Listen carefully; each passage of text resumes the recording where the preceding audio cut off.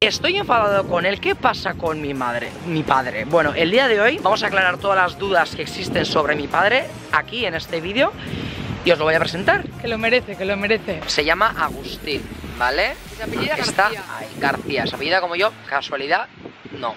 Es mi padre, es él. Sí, parece él, es joven joven. Si dice que me parezco mucho a él.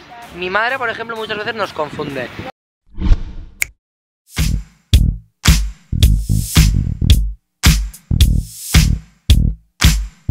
Shh.